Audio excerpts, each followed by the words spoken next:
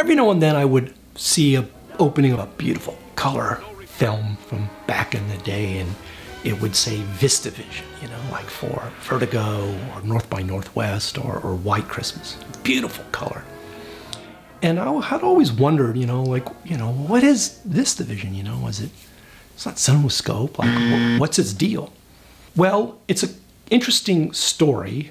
And though its use was short lived initially, its rebirth in the 70s uh, was a vital part of the making of a big blockbuster effect film that changed filmmaking at that time. Welcome to Pull My Focus Adventures in the World of Digital Filmmaking, where we're going to give you the inside tips you need to make great video. In the early 50s, TV was still new, but it was nipping at the heels of Hollywood. And it was easier, obviously, to, you know, stay in versus go out to the movies with this box that, you know, once you bought it, the only other expense was the electric bill. Wasn't cable then or anything. I mean, the, it was beamed in.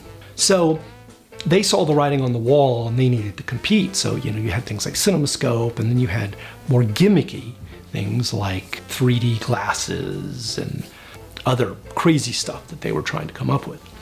But one new format was VistaVision, and that was from Paramount. And it's kind of very interesting for a number of reasons. And what they did is they realized that, okay, well, you know, film, when you are recording it, and even later when you project the print, is going through the camera vertically. It's called 4 perf vertical because it takes up the height of a frame is 4 perfs of 35 millimeter film. They realize, well, you know, in the still world, still photography, it goes through the gate horizontally, and that's called 8 perf horizontal. So you're getting a lot more area, almost four times.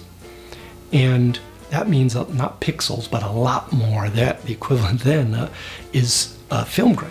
Right, a lot. You just you're getting more information. Therefore, you could you know get great imagery.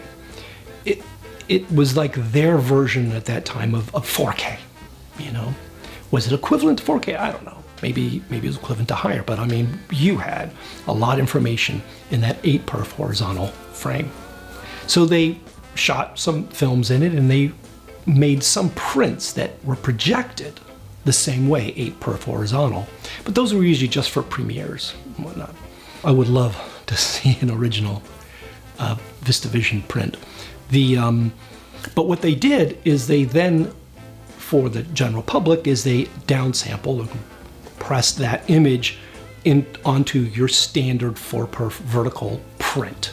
But the image still looked great because you're starting with this big high quality area. It's like taking extra pixels, right? It's kind of like my C100.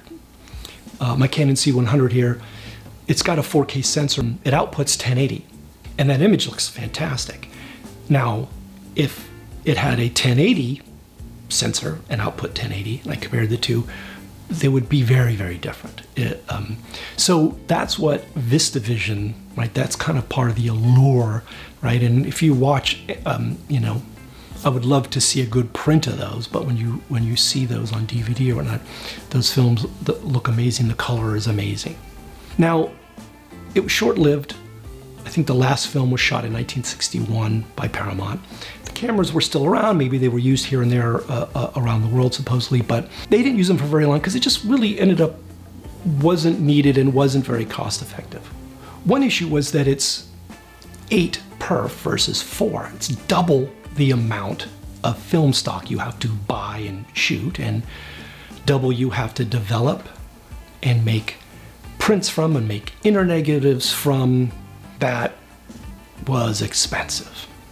And also, it had to scream through that the gate of that camera twice as fast in order to get 24 frames per second.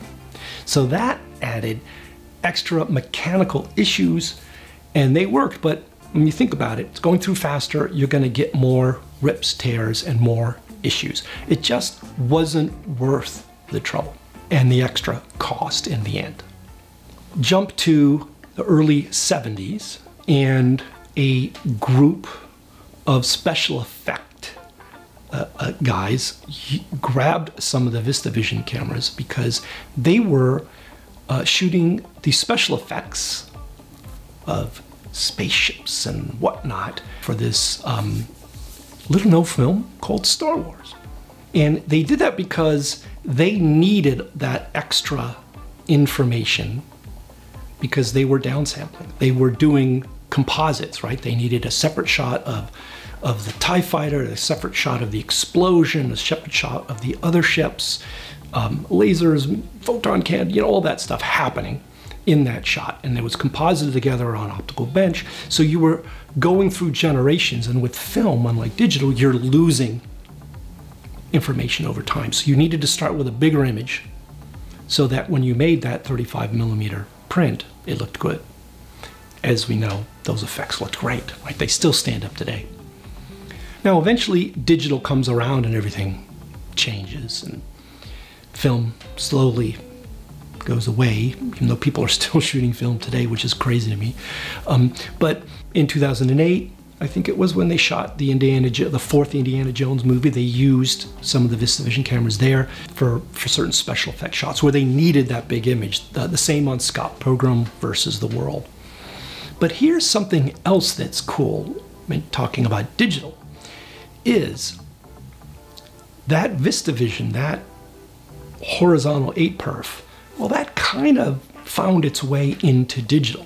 Well, how is that? Well, when digital sensors were being made, they the manufacturers realized that they needed to stay within certain formats and sizes that were familiar to the still photography world and the film world.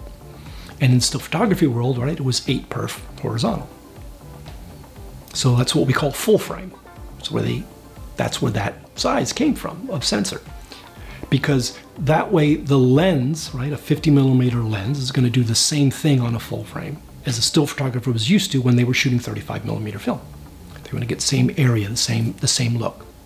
And for film with vertical 4 perf, right, 35 millimeter film, the framing there was, or that is the size, crop frame. So that's where the crop frame size sensor came from. So, respect to the inventors of VistaVision, the first, you know, 4K in the film world, and analog and mechanically what it must have took, right? And that also led to another really cool film format, and that is IMAX. IMAX is 65 millimeter negative, 70 millimeter print, and that goes through the gate horizontally for right the biggest frame ever. Those IMAX cameras. If you have ever get a chance to see one, they're huge. They're they're off the hook piece of, of beautiful machinery inside. They're just something else. And the idea that people were shooting 3D, right, with two negatives in one camera, I, I don't even I don't even want to think about it. it makes my head hurt. What it took to get some great imagery back in the day uh, with as many not pixels, but as much film grain silver, that silver highlight in there as you could get. Thanks for watching. Uh, hope you enjoyed it. If you have any questions, uh, let me know in the description. Description below? No, only I can write there. let me know in the comments below.